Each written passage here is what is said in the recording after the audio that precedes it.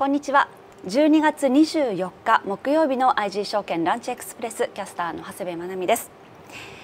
え今日はですねこの番組年内最後の放送ということになりますので2020年この1年新型コロナウイルスに揺れた1年でしたが、まあ、1年を振り返りそして来年これから注目すべき重要イベントなどについて後ほど詳しく見ていきたいと思います。まずは相場から振り返ってまいりましょう。昨晩の海外市場の動向を確認します。アメリカの株式市場この日はワクチンの供給期待と新規失業保険申請件数が3週ぶりに減少したことが相場のサポート要因となりました。景気敏感株を中心に買いが入り S&P500 指数とダウ平均は上昇しました。一方ナスダック総合指数は利益確定の売りにより小幅に反落して引けました。続いてアメリカの債券市場です。株高に追随し長期金利は小幅に上昇しました。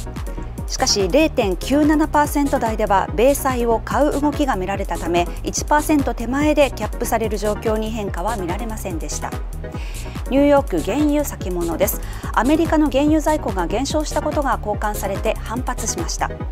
ワクチンの供給が拡大するとの期待も相場の押し上げ要因となりました。最後にニューヨーク金先物です。外為市場でのドル安を交換しニューヨーク金は4営業日ぶりに反発して引けました。以上マーケットをおさらいしました。続いては市場分析をお伝えしてまいります。解説はこの方です。IG 証券シニア FX ストラテジストの石川純一さんです。石川さんこんにちは。よろしくお願いします。はいよろしくお願いします。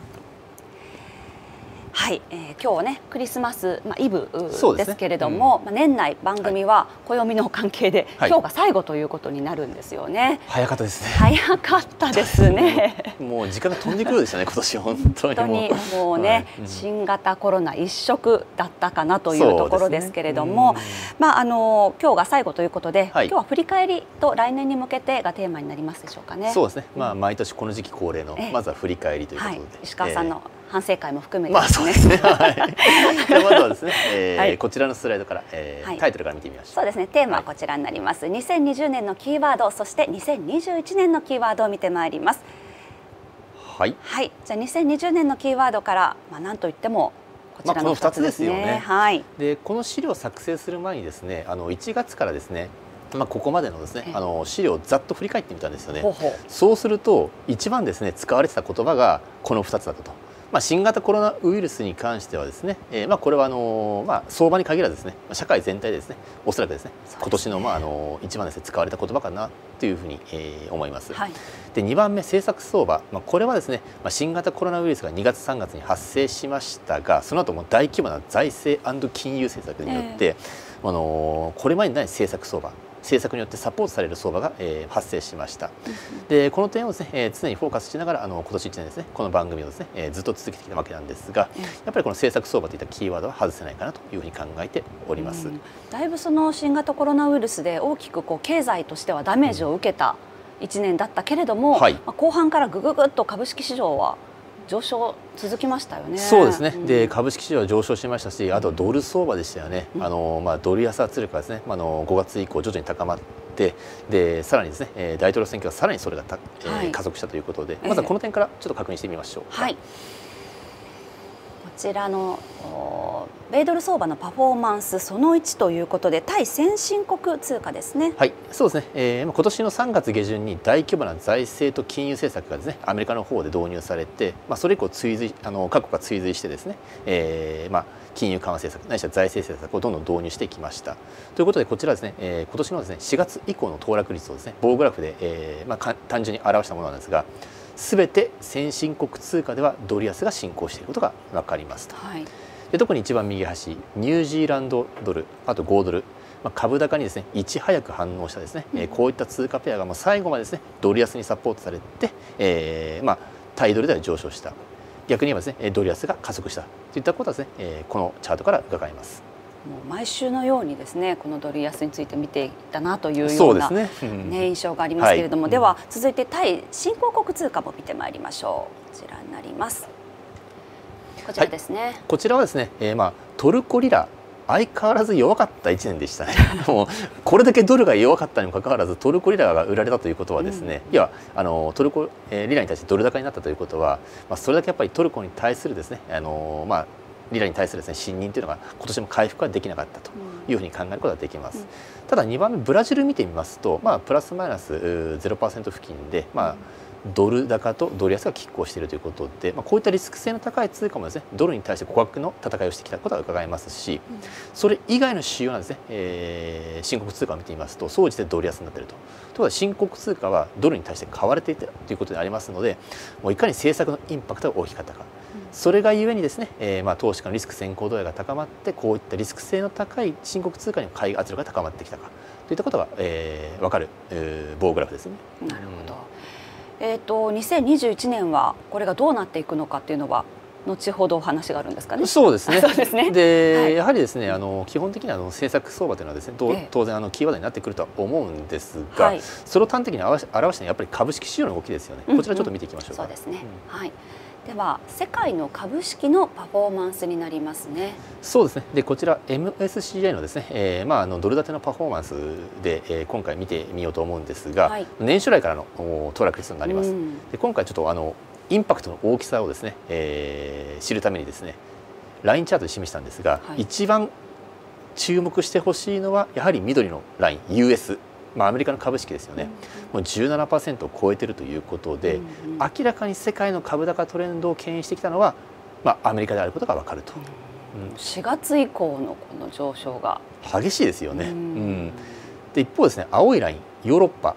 欧州の株式を見てると一番出遅れてることが分かります。はい、でようやくですね直近0%を上回って、まあ、1.89、まあ、2%近くまで上昇はしておりますけれどそれでもですね弱いですよね。うん、ということはやっぱりこちらはですねあの中国の景気減速とかですねそういったことが懸念されてドイツ経済がですね、え低迷してそれがですね各国にも波及すると。で特にですね、え南欧州の方ではですねコロナリスクに直面したということで、ね、やっぱり欧州経済全体が沈んでしまったといったことを反映した動きかなと思います。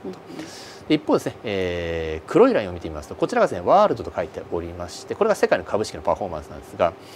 えー、これを唯一上回っているのがアメリカなんですよね。うん、でこの黒いラインえー、世界の株式のパフォーマンスと連動したのが黄色いラインの新興国株式市場なんですよね。うんうん、で先ほど新興国通貨買いがですね発生していると言いましたけど新興国通貨の株式も世界の株高トレンドに連動して上がっているということはやっぱりそれだけですね、えー、政策に対するインパクトが大きかったと、うん、それは投資家の心理をですね改善させることによってこういったリスク性の高い資産にですね資金がどんどん向かうように仕向けてい、えー、ったインパクトが大きかったことを示しておりますね。なるほど、うん、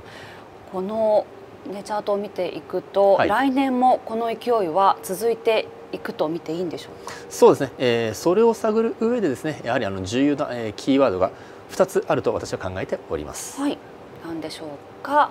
こちら。2021年のキーワード。はい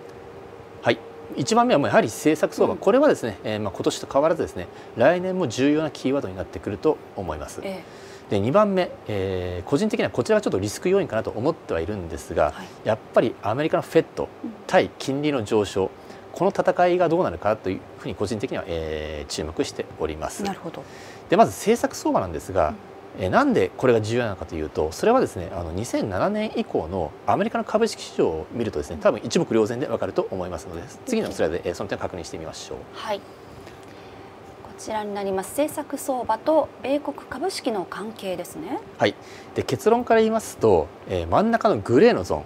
ハテナマークがついておりますが、はい、この期間が2015年から、えー、2016年11月までですねアメリカの株式市場で、えー、上値が抑えられた時期だったんですよね。うんうん、でなんでこれが発生したのかこれを考えることがこのスライドでは重要なんですが、じゃあその答えを探るためにちょっと時を遡って A の赤いゾーンから見ていきましょう。はい、でこちら2007年から2009年の3月にかけてですね、えー、発生しました、えーまあ、続きました。例のパリバショックから始まったリーマンショック、えー、世界金融危機ですね、はい、の時期だったんですよね。うんうん、でこの赤いゾーンを抜けると丸一番緑の上昇トレンドが、えー、発生しております。はい、じゃあなんでこの赤いゾーンを抜けた後にこの緑の丸一番上昇トレンドが発生したのかというとそれは大規模な金融政策だった。金融緩和政策だったんですよね。でこれはですね、えーまあ、当時のバーナンキー FRB がですね中心になって QE1 から QE3 といったですね量的緩和政策を矢継ぎ早にどんどんどんどん講じてきたと。それがゆえに丸1番の上昇のトレンドが発生しました、うん、そしてグレーのゾーンを挟んで丸2番の上昇トレンド。これは何かと言いますとトランプ政権が公約として掲げていた大規模減税ですね。要は財政政策、はい、1番の主役は金融政策だったんですが、うん、2番の上昇トレンドの主役は財政政策に変わったと。いうことで2番の上昇トレンドが発生しました、うんうん、そして B 赤いゾーン。まあ、これは言うに及ばずということで、えー、コロナショックということで急落しましたと、うんうん、じゃあその後丸3番。また上昇トレンドが発生しているんですがこれは何かと言いますと、まあ、あの映画とかテレビのドラマの世界で言うならばダブル主演。要は金融と財政がもう一緒くたになってですね相場を支えていたと。金融政策と財政政策。そうですね、それがゆえにですね、矢印の傾きも急になっていることが分かりますと。ということはこの2007年あ2009年以降ですね、えー、3月以降123のこの矢印を見てみますと全て政策が関わってるんですよね。でもグレーのゾーンの部分だけはハテナマークで横棒の矢印になってます。これはなぜかと言いますと2014年の10月にあの当時のイエレン FRB がですねやはり量的緩和政策から脱却を決めたんですよね。でその後次どんな政策があるのかっていうのは不透明感が漂った時期だったんですね、うんうん、でも2016年11月例のアメリカの大統領選挙でまさかのトランプ大統領誕生。じゃあその後に2017年以降当然、えー、公約として大規模な減税政策を打ち出すんじゃないかという期待からですね上がり始めたのがこの丸2番だったんです、ね。ということはこのグレーの図を見ていると分かる通り、政策が不在になるとアメリカの株式市場といえどもやはり上値が重くなる。もしくは不安定になる可能性があることをこのチャートは示していると。いうことは来年もですね株高トレンドが続くためには、まあ、スムーズな、えー、政策の議論決定ですよね。で導入。こういったものがやっぱり重要になってくるとということはイコールそれは政策相場が来年も続くことが、えー、まず予想されますしこの点が非常に重要になってくる重要なキーワードになってくるというのがまず第一点考えられますね。うんそうするとますますこの政権が変わって政策もこれが通通るのかどうなのかっていうところが重要ですよね。そうですね。うん、でかつですねあのこの政策についてはですね当然アメリカの金利にもあの影響を及ぼしてきますし、うん、でそのアメリカの金利に影響を及ぼしてくるということは2番目のキーワードフェット対金利の上昇。これもですね非常に重要なキーワードとして浮上してくると思います。その点を次のスライドで見てみましょう、はい、こ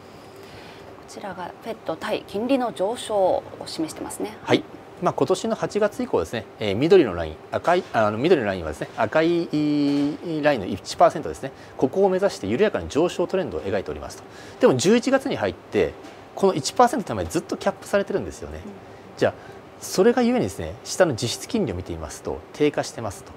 これはなぜかと言いますと実質金利というのはこの上の長期金利マイナス期待インフレ率で計算される金利なんですよね。うんうん、ということは期待インフレ率は景気の回復期待に伴ってどんどん上がっていると。でもじあの長期金利に関してはですね1%手前で抑制されている。うんうん、ということはマイナスの前の値は、えー、ずっと変わらずでマイナスの後の値は大きくなっているということで実質金利は低下している。それがゆえにドル安になってるんですよね。でもこの実質金利の低下が株高を支えているということで当然フェットもこのことは分かっておりますと、じゃあそうなってくると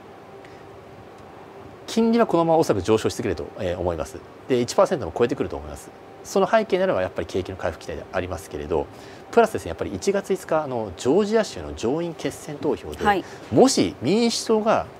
上院を支配するようなことになればこれはトリプルブルーになりますので当然ですね大規模なあの財政出とこういったものが考えられます。そうなってくると景気の回復期待だけではなくて、うん、財政リスクも意識されて金利がですね急上昇する可能性もあると、まあ、どちらにしてもです、ね、金利はですね来年はあの上昇する可能性が高いですので、うんうん、じゃそうなってくると実質金利の低下を望んでいるフェットはどう対応してくるのか、まあ、是が非でもですね、えー、もう金利の上昇を抑え込んでくるとは思いますけれど、うんうん、それでも抑え込めない状況になるのかどうか、うんうん、要はフェット対金利の上昇ですね。ここが非常にですね、えー、まあ重要なポイントになってくるかなと、えー、考えておりますので、えー、まあ政策相場とフェット対金利の上昇セットで考えておくべきかなと考えております。まあなるほど、まあ1月5日またね年始早々注目のイベントもありますので、ねはい、出資していきたいなと思っております、はい、2020年もですね IG 証券ランチエクスプレス皆様ご覧くださいましてありがとうございました。ねあの今年はどんな1年だったかなというふうに思います。皆様ぜひですね2021年も新しい年もこの番組をご覧いただけますようにお願いしたいと思います、はい、それでは今週はこの辺りとなります。また新年1月7日からスタートになりますので新しい年にお会いしましょう。それでは皆様どうぞ良いお年をお迎えください。失礼いたします。